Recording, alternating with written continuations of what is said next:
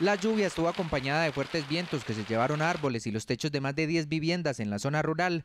Varios deslizamientos afectaron carreteras y dejaron al borde del colapso dos viviendas en la vereda Pavón, donde habitan alrededor de 25 personas. Nos tuvimos que salir de la casa porque no habíamos ahogado, nos vino un barranco detrás de la casa, nos, cayó la cocinita de atrás donde hacíamos de comer, se nos, quedó todo el mercadito adentro, la, las ollitas, todo nos quedó adentro.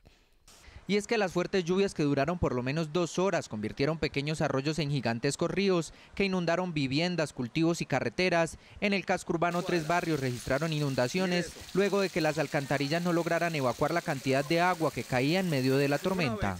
Tuvimos también varios deslizamientos y varias caídas de árboles. También en la parte de Arenales se presentó una caída de un poste eléctrico, el, el cual dejó a esta comunidad sin energía.